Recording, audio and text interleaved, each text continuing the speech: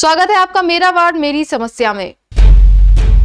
मेरा वार्ड मेरी समस्या में आज बात करेंगे कोटा उत्तर नगर निगम क्षेत्र के वार्ड 19 की। बोरखेड़ा इलाके की ये डिफेंस कॉलोनी जिसमें आर्मी से रिटायर्ड कर्मचारियों की संख्या अधिक है।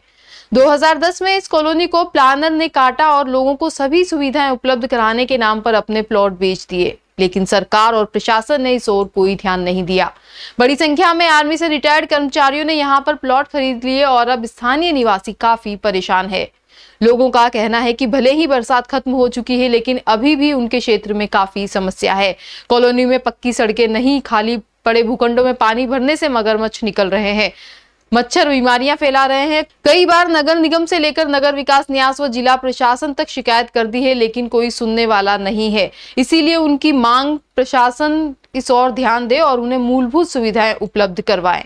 सर इस कॉलोनी की बहुत बेकार स्थिति हो रखी है। ये है 2010 से कटी हुई कॉलोनी है। और इसमें ज़्यादातर एक्समैनों के ही जो फौज के एक्समैनों के ही प्लॉट हैं। इनमें पैंतीस से चालीस मकान बने हुए हैं। लेकिन यहाँ पे प्रशासन ने रोड के बारे में या सिक्योरिटी लाइट के बारे में कोई भी सुविधा नहीं की है। सिटी में हम लोगों ने सोचा है कि सिटी में बच्चों को पढ़ाएँगे। इतने दिन तो तीस साल मैंने फौज में नौकरी किया है। सुबदार मेजर से रिटायरमेंट हुआ और आके मैं बोला, बच्चों को इधर सेटल करेंगे। लेकिन बच्चों को सेटल करने के लिए अब कोई सुविधा नहीं। अब छोटे बच्चे हैं, उनको स्कूल जाने के लिए पानी में प्रॉब्लम आ रही है। कोकोडाइल पानी में तैर रहे हैं और जो कपड़े पहन के घुटनों से ऊपर पानी में होके निकल के जाना पड़ रहा है। जो नहर का नाला है उसमें भी पुलिया नहीं बनाई गई है। उस पुलिया को भी हमने पैसा कलेक्शन करके बनाया है। चुनाव के समय जब ये लोग आते हैं किस तरह के वादे करते हैं आपसे? इलेक्शन के टाइम पे तो लोग आते हैं बड़ी मीठी मीठी बातें ये रोड पक्के हो जाएँगे सब कुछ तुम्हारा जो ये अप्रूव हो जाएगा सब कुछ हो जाएगा वोट दे दो। लेकिन वोट देने के बाद में कोई भी नज़दीक नहीं मिलता है।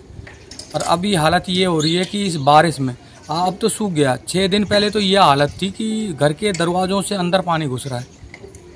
आपने यहाँ पर देख ही रहे हो, आप इसका फ़ोटो ले लो। कहने की ज़रूरत ही नहीं पड़ेगी आपको कि ये क्या क्या हालत है।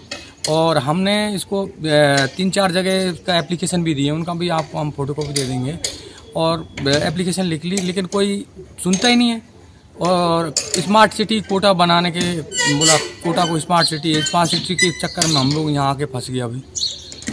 इतना पैसा जो पेंशन आए वो लगा दिया और आने जाने के लिए रास्ता भी नहीं है। भैया क्या स्थिति है पूरे क्षेत्र की? जैसे आप यहाँ स्कूल जाते होंगे पढ़ने बहुत खराब स्थिति है। मैं मतलब स्कूल जाता हूँ तो पूरी ड्रेस खराब हो जाती है स्कूल पहुँचने तक।